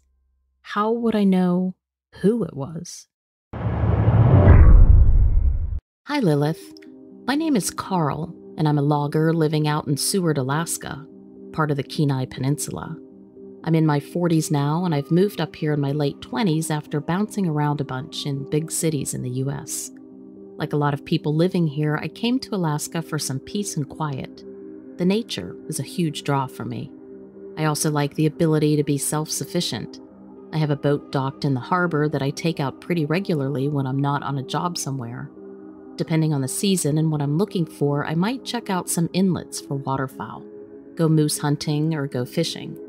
I grew up freshwater fishing, but ever since moving to Seward, I love sea fishing. I live with my wife Janet and our two kids, both of whom are in high school. Every March, the fishing season opens, and I spend a few months bringing in fish whenever I can to stock our freezer. Mine and Janet's favorite is halibut. Halibut is a huge flatfish, and the daily limits are two per person. So sometimes Janet or my older son Christopher will go out with me in the boat. A few years ago, in 2009, I had just finished up a job with my company further north and inland. I was itching to get out on the water, and after settling in at home for about a week, I decided to take the boat out with Janet. It was also sort of a date night for us since I'd been away for almost a month. We took the boat out very early, just as dawn was starting, and headed southwest to some more open water, but not too far off the shoreline since halibut are bottom feeders. We had some frozen salmon heads and squid left over from last season defrosting in a bucket, and Janet and I were setting up the poles and the gear. Fishing's a great sport, but can be dangerous, especially in Alaska's waters. The temperatures, even in April, are freezing, and you can get hypothermia quickly. Not a situation you want to get into if it's just two of you out in a remote area in a boat. As we were setting up, I was letting the boat drift maybe 500 or so feet from the shore. We were just off the coast from Fort McGilvray, a landmark in a heavy wooded area that creates a little point into the bay. I had just stuck my hand into the bucket to check on the salmon heads and squid when Janet said something and pointed towards the shore. When I looked up, I could see a dark shape moving along the beach area. At first, I assumed it was a bear since they like to comb the beaches, but it also could have been a moose or a deer, or even a hunter, although I doubted that. I got a little excited, but could tell that something was strange with Janet. She was sitting stiffly and staring at the shore. When I asked what was up, she said that something just didn't look right. It was about 5 a.m. now, and we were ready to fish, but she seemed pretty bothered. I offered to drive the boat closer so we could see what it was. She was resistant at first, but hesitantly agreed. She gripped the edge of the boat tightly, and we sped toward the fort and the beach. Meanwhile, as soon as I started up the motor, the creature on the beach turned our way and was checking us out. I expected it to run off as we got closer, but it didn't. That put me on edge as I was now thinking it was a bear that was too used to humans. These bears can be dangerous and eventually end up trying to break into cabins or getting too close to people in very aggressive ways. So we got to about 200 feet off the shore and I pulled a pair of game binoculars out of my coat. It took a second to get situated, but I got the creature in my sights and realized it wasn't a bear at all. By now, it was trying to move into the wooded area off the beach. As I watched, holding my breath, it moved on two feet, not like a bear, but like a stiff human. Janet then hit my arm and told me she wanted to go back. Hold on, I said. I wanted to get a better look. I didn't dare bring the boat in closer since the water was very shallow here but I kept my eyes glued to the bipedal creature. It wove in and out of the trees, poking out every few seconds to look back at us. The trees obscured it a bit, but I was able to see longer, shaggy hair on its body, matted in some places. It was a dark, almost black brown color, and had long arms that reached down past where I would say the knees were. I asked Janet if she wanted to look, but she shook her head and asked again if we could please just head back. In fact, she demanded it. So we switched spots so I could keep looking at the creature while she directed us back out to the fishing spot. As our boat moved away from the shore, the thing came out onto the beach a little further, but not like it had been before. It was a bumpy ride on the water, but I could see that it was beachcombing and would occasionally bend down, again with these stiff knees. When we were far out from the fort, Janet and I started fishing, and we just didn't talk about it until I brought it up about an hour later. I asked if she wanted to know what it was. She said no at first, but then gave in to her curiosity. Plus, we couldn't see the creature on the beach anymore. Explained that it almost looked like a man in a black and brown ghillie suit, but one who was walking strangely. She looked at me and said that she had noticed that too, that the movements weren't fluid like a human, but they were very straightforward, more animal like. We tried to focus on fishing, but after an hour, only caught one smaller halibut. So she and I decided to head back in. Since that day, we haven't seen anything like the creature again, but I've brought it up over beers in the bar, and I've heard similar stories from other people. Locals in the area seem pretty comfortable with the idea of Bigfoot or something ape like roaming around. I'm thinking that's what we must have seen. Whatever it was, I didn't get a feeling of menace or aggression about it, more that it wanted to be left alone and just stay unseen. Eventually, Janet admitted that she had heard these stories too, and she'd even heard them growing up, but we never believed that such things existed until we saw it for ourselves. I don't really remember much, but I'll try to give you as many details as possible. It was just such a surreal experience that I second guess myself on almost everything. At this point, I've probably gone over it a million times in my head, trying to figure out if I even believe myself. I've decided that I do believe what happened, and that's why I'm passing my story on to you. I guess here's why I think that it's actually real. I don't drink, I don't do drugs, and I don't watch scary movies even. I have a strong mind and I trust my senses. And for that reason, I really do think that what I saw was real. But it's hard to not second guess yourself when you experience something so out of the ordinary. So, my wife and I were driving back from the movies. It was really late because we had gone to the drive in. They don't start until the sun sets, and we had also stayed for the second movie, the double feature. So, since we did that, we weren't on our way back home until after midnight. Also, the drive in theater was about an hour from our house, so it was going to be very late by the time we got home. Most of the drive was on the highway, but there were some back roads once we got closer to home. And they were truly back roads through dark woods. There were no street lights, no house lights, not even light from the night sky. It was overcast, and the only real light was from our headlights. That, I believe, is why the other light stood out so clearly. It has stood out the most in my mind as I have gone over the details of the encounter over and over in my head. We didn't see the light head on. I actually noticed it in my rearview mirror. It was weird to see in the rearview mirror because the light was red. So I knew right away that it wasn't like the headlights of another car coming on us. It was red and fairly small, and it also seemed very, very stationary. It sat in the lower right hand corner of my mirror and didn't really move at all. The light was visible in the mirror for probably two minutes. We were just driving along and it stayed in that lower corner that whole time. But then, when we went around a bend in the road, the light suddenly disappeared momentarily. I wondered if maybe it was an emergency vehicle or some other vehicle out of the ordinary but we just couldn't hear the siren. But then, when we were back on the straight section of road, the light appeared again in the mirror, and this time it was bigger, which made me instantly think that whatever the light belonged to was now closer to us. I thought it was all a little weird, but not scary yet. But it started to get scary very quickly after that. Over the course of just a few seconds, the light began to grow noticeably bigger still in the rearview mirror. It was illuminating the warning notification that was now popping up on my mirrors, which was beginning to make me very uneasy. You know, that objects in mirror are closer than they appear message. The red orb was gaining on us quickly until suddenly it seemed like it was right behind us. I could now see its glow casting shadows on my dashboard. My heart was hammering at this point. I wanted to speed up and drive away as fast as possible, but the road was windy, and I was afraid of getting off in a ditch in the dark. Obviously, my wife was seeing all of this too, and she was also freaking out. The thought of a carjacking entered both of our heads. She was begging me to go faster, which I was trying my best to without losing control in the dark roads. She was clutching my arm in fear so hard that it hurt. I dared to quickly turn around to get a better view of it, and I could see it. The red orb was right behind us, probably only 10 feet from our bumper. And that's where my memory of the whole thing stops.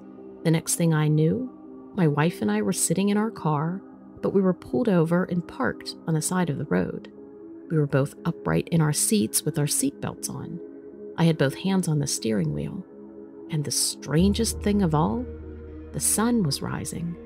I don't know what happened, but I do know that I was absolutely terrified, and so was my wife.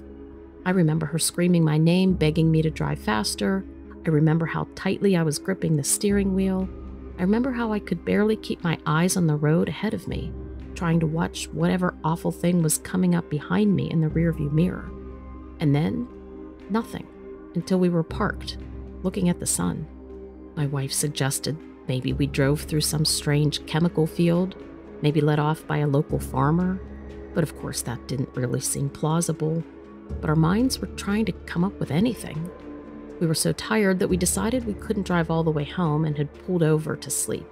No, that didn't make sense for so many reasons, including how could we have both had the same dream? And who sleeps with their seatbelt on, gripping the steering wheel? No, that explanation doesn't make any sense to me. I think that something happened that we don't remember. That whoever or whatever the red orb was, it was trying to catch us or overtake us. And I think it did catch us, and something happened that we don't remember. And that's really scary.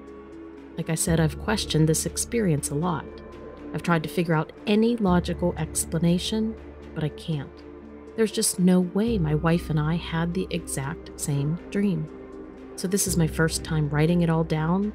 Up until this point, I've just thought about it and talked about it with my wife. But now that I'm writing it down, it really seems extra real. And I'm 100% sure that something strange and unnatural, supernatural even, happened to us that night. I had always reminded my daughter, Ashley, to be cautious when we would head out on family camping trips, especially when her young son, Jimmy, my grandson, came along. He was only four years old on our most recent trip. That was me, Ashley, her husband, Jimmy, and my dad, five of us. Originally, going camping was how we coped with the passing of my husband, which happened before Jimmy was born and it just continued as a family tradition. We went to the same camping spot every time, a tucked away campsite with access to a creek and a small waterfall. My husband had called this spot his real home.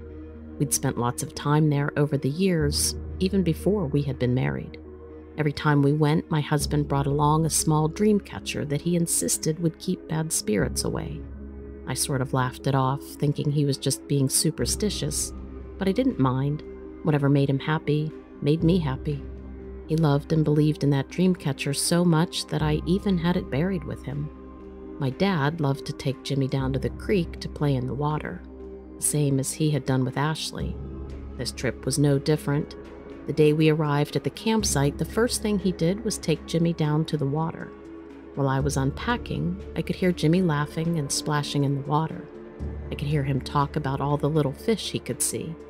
He was even counting them and laughing when they would jump up to greet him. I loved listening to it and kept thinking about how much my husband would have loved to have known him. And then, just as I opened and laid out the last sleeping bag, Ashley and her husband walked over. They had to head back to town. The drive into town was about half an hour, but they would also have to walk on foot about 20 minutes back up to where we had parked. They realized they had completely forgot Jimmy's pull ups for playing in the creek. I'll keep an eye on them, I told them, smiling in the direction of the boys in the creek. My dad was stooped over a bit. He was getting a little old for these trips, but I knew he wouldn't miss it for the world. So Ashley and her husband took off in the direction of the car and left me standing there, setting up the grill, as I listened to my dad and his great grandson enjoying the great outdoors. I pulled some fish from the cooler and began prepping the grill. I knew they would come back hungry, and I wanted to be sure that lunch would be ready. The grill was positioned so that I had my back to Dad and Jimmy. I was confident that they'd be fine without my eyes watching them the entire time. I mean, my dad, after all, was an adult. As the fire in the grill crackled louder, however, Jimmy's laughter seemed to sound further and further away. So I turned back around and I looked down towards the creek. Nobody was there. I thought they must have moved upstream a bit, but before putting the fish on, I figured I should go check. I decided to give them a shout and let them know that lunch was going to be ready in a bit. I headed down the embankment and instantly noticed something odd. My dad was sitting on the edge of the water with his head down and his eyes closed. Jimmy was nowhere in sight. Dad, I yelled, running down to him. He was startled but acted like nothing had happened. Oh boy, I just had to close my eyes. The heat was really getting to me. And then he looked up. Where's Jimmy? I began to panic. Where was Jimmy?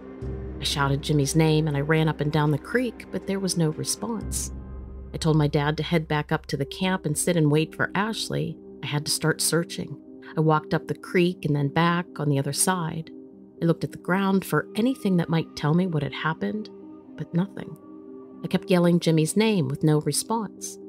My grandson had disappeared into thin air. After two hours of searching, my daughter returned to find my dad sitting in the camp chair waiting for her. He told her Jimmy was missing and that I was out looking for him. She immediately ran down to the creek, freaking out, found me on a rock, crying. Where is he? Ashley said, with tears in her eyes. All I could do was shrug. I was defeated. Ashley and her husband began tracing all the steps I had previously taken. Her husband eventually got in the car and headed back to town to alert the police. I couldn't figure out how Jimmy could get that far in the short amount of time that I didn't hear him laughing.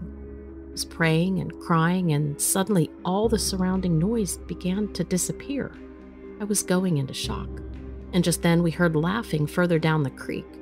I scrambled to my feet. We all rushed towards the sound. And there, in a small cave like opening between three boulders, was Jimmy. You could barely see him, but his voice showed us where to look. He was talking fast and laughing like he was playing with somebody. Jimmy, we all screamed, and Ashley reached inside to pull him out. He resisted, and he said he wanted to stay inside playing with his new friend. I started to reach for him to hug him tight, but just then I saw it, and I could not believe what I was seeing. In his hands was my husband's dream catcher, in perfect condition, just like the day I laid it in his coffin. You don't think, Ashley started to say, realizing how ridiculous it sounded. We stared at each other as the police sirens approached in the distance. Do you think it was Dad?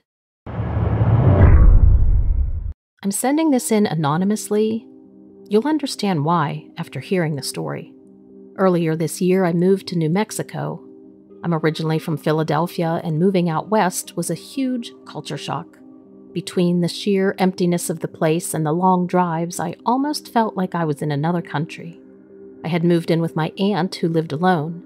She was getting older and was finding it hard to take care of herself after my uncle passed. And since I didn't really have much going on back home, I volunteered to go out to stay with her for a while and just help with things around the house. I worked remotely anyway. I love my aunt, and the little town she lives in is beautiful, and the locals are all extremely nice nothing like back home. But it was boring for me because I didn't know anybody. I mean, how much Netflix can you possibly watch? So, looking for something to do, I did the logical thing and I made a Tinder profile. I matched with a few different girls, and some of them were nice enough, but they all lived pretty far away. Eventually, I met this cute girl named Emily, and we really started hitting it off. But she lived 90 minutes away in Santa Fe, which by New Mexico standards was right down the road. A few days later, I ended up driving out to meet her for a date, and we had a great time.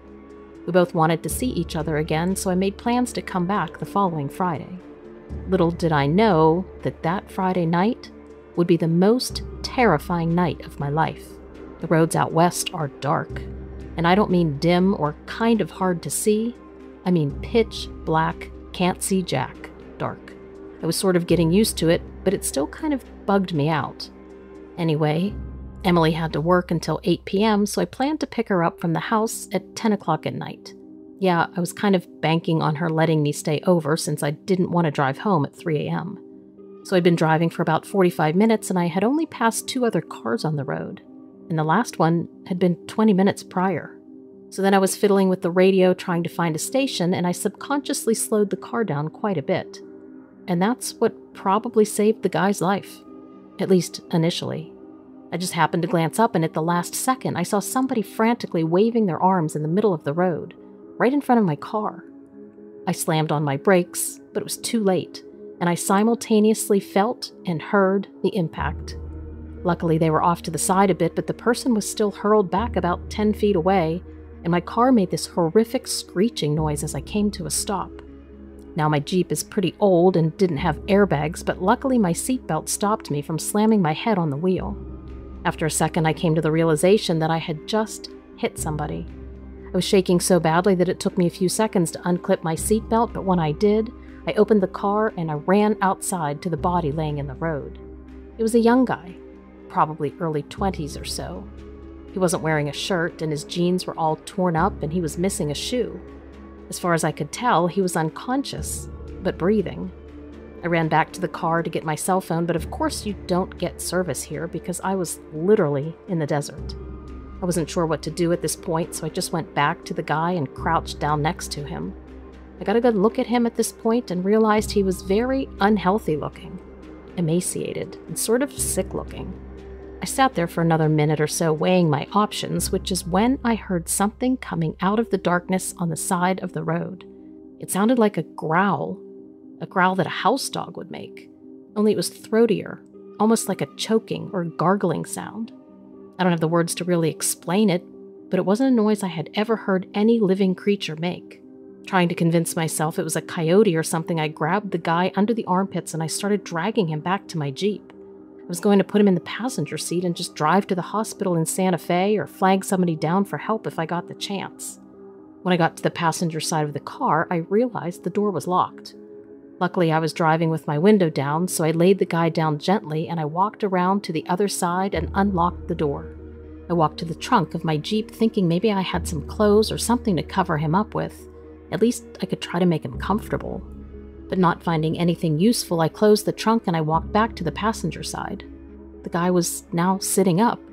His shoulders were pumping up and down rapidly, though, almost like he was hyperventilating. I was behind him, but it seemed like he was staring at something straight ahead, right where the headlights were pointing. I looked up. This thing was standing in the dead center of the road. It was on all fours, but its hind legs were twice as long as its front giving it this weird sloping angle. It had this row of needle thin quills running up its spine, each about a foot long, it seemed like. It was salivating something vicious and black. Steam was rising from the pavement where it dripped in thick clumps. Even hunched down the way it was, it still had to be taller than my six foot one. The three of us were completely still at this point, almost like we were waiting for the other to act. The guy decided it would be him. He let out a scream that seemed like it filled the entire desert. I don't know how he did it, but one second he was sitting down, and the next he was sprinting off down the road into the darkness. The creature opened its mouth impossibly wide, and then it let out its own scream, perfectly mimicking the tone and pitch that the guy had just made. I bolted for the back of the Jeep. I felt something hard slam into the hood, and I just stood crouched in the silence. I waited a few minutes, the whole time hearing the guy screaming repeatedly, but getting farther and farther away. I couldn't see the guy or the creature. My heart was pounding and I was trying not to throw up. After a few minutes, I stood up, looked through the rear view windshield, and I didn't see anything. So I crept up along the side of my car, got to the door, and quietly opened it. And that's when I heard the same scream again, this time right behind me. One hand on the door, I pulled it open jumped in the car, and shut it behind me. Something hard hit the side of my Jeep, and for a split second, I thought it was going to tip. I never turned the car off, luckily, so I just reached down and pushed down on the gas. Of course, the car was in park, the engine just strained like it was about to burst. So I reached up with my hand, shifted into drive, and the car leapt forward. I drove about 50 feet, shifted myself so that I was sitting properly, and then kept on driving. I left the guy out there in the desert, alone with that thing. I'm ashamed. I can't be certain, but there's a good chance that the guy is dead, and I'm partly, if not totally, to blame.